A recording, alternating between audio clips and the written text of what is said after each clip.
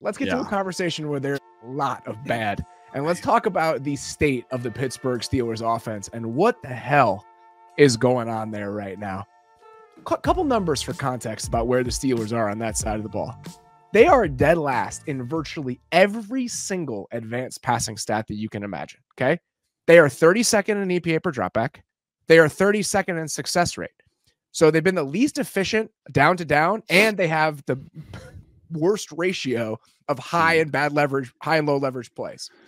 20.4% of their dropbacks have gone for first downs this year. That is dead last in That the seems NFL. low. Dead last.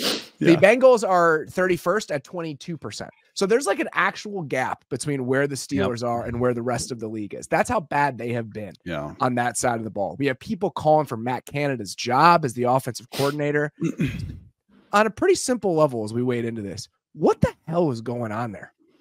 I have no clue. I watched two games and it, it's so hard to point a finger at why offenses in certain offenses, especially this offense with Kenny Pickett, um, can't seem to get going. Is it good defensive play?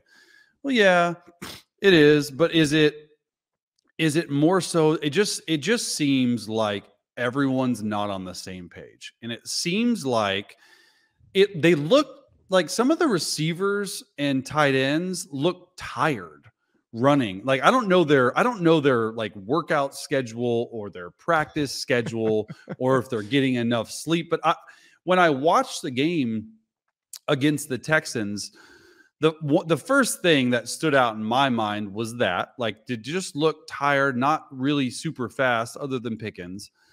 And another thing is like, well, man, maybe I picked the wrong game because the Texans defense was flying around and was like They're fun was to watch already. gosh, and they're just DeMeco Ryans has that unit rolling, and it just is. There's not a lot open, and that's that's the biggest thing. There's not a lot open. Is it schematics? Is it calling uh, a play, certain plays on third downs? Is it what is it? I have. I'm with you. I I don't know, and I feel like they should be better. I mean, they were supposed to be better. You have a first round quarterback in his second year. You got some weapons. I know Diontae Johnson's hurt, but they've invested along the offensive line. Broderick Jones, who they drafted in the first round, came into this game, I believe, at the start of the second drive, immediately gave up a pressure. But this is a guy you drafted in the first round. He's supposed to be your starting left tackle of the future. So parsing blame here is just really difficult. And Yeah. I guess I can start with what you think the structure of the offense looks like, because here's how I would frame it. You tell me if I'm right or wrong. They use a lot of motion in their run game, right? So there's a lot of jet motion when they're trying to run the ball. When they're throwing the ball, it's incredibly static. Like there Yeah. just isn't a lot happening. They're asking these guys to win in some of these one on one situations, and they do not have the skill position talent that would allow you to kind of dictate matchups in those moments.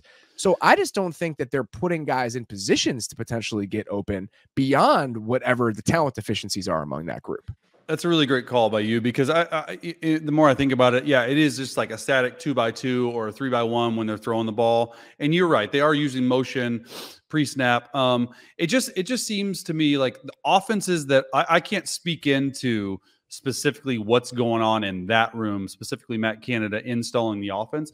But the best offenses I've been on is that the pass game marries the run game. And not every pass formation needs to look like a run formation. Or if you run a power out of a jet sweep and you run power, like have a power pass off the same jet sweep. There's, you know, and, and, and, that's honestly like what KC and Andy Reid was so good at. Like we'd have like 15 formations and we'd have four plays out of each formation that looked the exact same. Oh, and sometimes three. He was like, "Hey, the power of three. Like, let's do a screen. Let's run a um, a, a run play, and let's have a play action play off the same formation." So it just looks the same to defenses, and they're not able to just, hey, you know. And that's another thing too. Is I've always been a big component of pre pre snap shifts, motions. That's how you blitz the defense.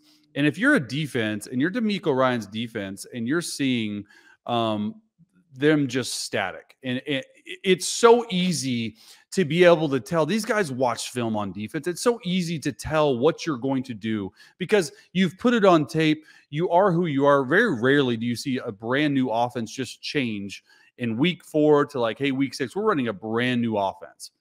No, you have your core concepts. You have some stuff that attacks defenses on any given week.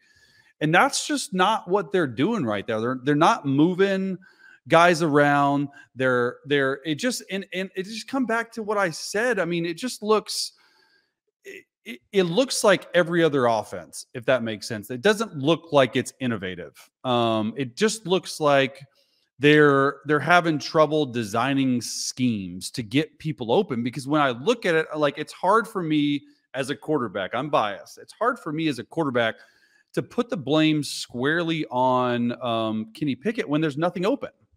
Yeah, it, there's just a lot happening at the same time. One of the things I thought was really notable when you go back and watch this game, he threw four passes between the numbers beyond the line of scrimmage over the course yeah. of the game. Four. 19 of his attempts in this game were outside the numbers. If you go look at the first half, every single pass that he completed for like the first two and a half quarters, and this is not an exaggeration, was an out against cover three where it's immediately available to him and he's taking it, or a check down. That's it. Those are the only two types of throws that he completed for an entire half of football. And there are so many examples where there was a play in the first half where he's got a high low down to the bottom and he's got Pickens one on one up the right side. Mm-hmm. The high low is there. He doesn't yeah. even look at it. Yeah. He doesn't even look at it. He takes the one, and that's fine. You can take the one-on-one matchup to a guy that you think is a matchup advantage. That's that's what his game is. But it feels like there's no depth to the way that he's trying to look at the offense. And I don't know if that's the way the offense is structured. I don't know if that's the way the offense is being coached. It's impossible to know, but that's what it feels like is that there's no trust and no intentionality behind how he's looking at what their passing game is against these defenses.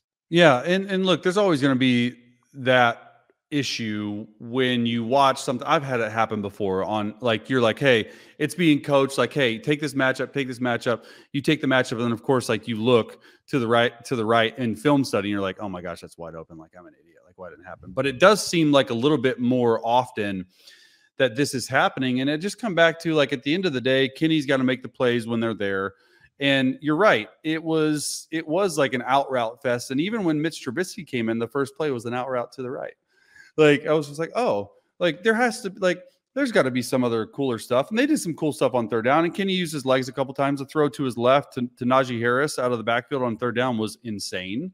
And honestly, the, the throw to, to Pickens that he dropped on the little like come in and go up on and on the in the red zone I thought was awesome. And and and pick and Pickens is like pointing to the air hey throw it higher. But it was actually perfect like back shoulder like catch it. So yeah. there's a lot going on there that they better figure out and figure out fast. And then on top of that the knee injury like how is that going to affect him? How is that going to affect him getting out of the pocket? Is he going to play? Is he not? You know all that stuff is is is in the distance as well it's it's good that you mentioned that because I think that the knee injury, and I'm not I'm never say it's a guy's fault that he got hurt, but the play where he got hurt, I think, is very mm-hmm. indicative of what's going on there right now. It's fourth and one. They run a high low to the left. He has the dig on the high yeah. low if he sits yeah. in the pocket. He yeah. bails immediately. He bailed, yeah. There were probably four, five, six times in this game where I'm not saying it's a clean pocket, but it does feel like he's got a beat longer than he thinks he does, and he's running himself into trouble. And again, is that bad pocket management? Is that a lack of trust in the offense and you feel like you have to instantly go into creation mode? I don't know the answer to that, but the habits that he's developing as a result of that distrust in what he's seeing, it's a troubling trend. It, it, the yeah. way that I see it. I don't know if you feel that way. Well, it, it just he's got to figure out a way Kenny does to, to to feel comfortable in the pocket. That's that's the biggest thing for any quarterback to have success is like, dude, you're gonna get hit. It's gonna be a muddy pocket. Very rarely is it this perfect arc that we draw on film. Be like, oh, look at this pocket. Like there's there's green grass in front of you. Like, no, that's not the NFL. Maybe 15% of the time. So he's just got to get something going. I have no idea what it is or what he needs to do, but he's got to have a better feel in the pocket. And maybe it is he's not trusting his low lineman. He would never say that. I didn't think they played horrible can they play better? Sure. But it's just like at the end of the day, how do you try to fix this? And, and the question is, I have no idea. I would love to get some true serum and talk to the Texans defense about like three or four plays. There were yeah. two screens they snuffed out immediately, like yeah. immediately that were yeah. dropped for four or five yard losses in the backfield. There was a play where Jalen Pitre absolutely erased Jaylen Warren on a handoff. He took the handoff from him in I the backfield. Is that do you see something in Trigger because of that? Is that just a play where you're you, for whatever reason you were in the right place at the right time? Because it feels like they were on top of a lot of different things, a lot of different even change ups that the Steelers were trying to do. Yeah, and that that's that's I that just goes. I feel like to DeMeco Ryans at the end of the day, like so he's got that magic sauce and that defense. And it's not like they're they're playing anything crazy. They're playing two high look, and then they'll mix it up with the one high, and then third down they get a little crazy with it, but nothing too crazy. He's it's allowing his guys to play fast, but you can just tell it's getting coached really well and and they're and they're and they're they're telling them exactly what to expect and it's happening and, and certain defensive gurus like that um they do that sometimes and and it's just it's it's impressive what they're doing on in Houston for sure it's simpler than what they did in San Francisco, but there's still some shit that they're trying four games in with yeah, a banged up secondary that I'm like, all right. There was a play, I think, on the first drive where Pitre's lined up on the edge and then he buzzes to the flat and they bail into cover two with him yeah, as the flat sweet. player on the right side. And I was like, I'm like, okay. Because I remember talking to DeMeco at the combine and we were just, just talking about, okay, you have this defense in San Francisco where you've been able to build on it and build on it and build on it because of the continuity. You know, Fred Warner's been there for years. So you have these guys who just know the system in yeah. their bones. So, and there was a specific play, I think it was against Dallas last year, Hey, no, it was against Seattle. It was against Seattle on a Thursday night. I remember this vividly. It's third down. Fred Warner is lined up over the number one receiver to the right side. So all indications, if you're the Seahawks, it's man, right? It's man coverage. Yeah. And then they bail into cover two with him in the flat. I and know. that play yeah. specifically, I was like, it doesn't seem like you'll be doing a lot of that with these guys who are all learning a new defense. He's like, yeah, that's eventually you have to get to that point. But four games in, they've already been able to kind of throw some crazy shit against the wall. And when you combine that with just the attitude and the mindset they're yeah. clearly playing with already, I yeah. think it's pretty easy to get excited about which direction this is heading for Houston.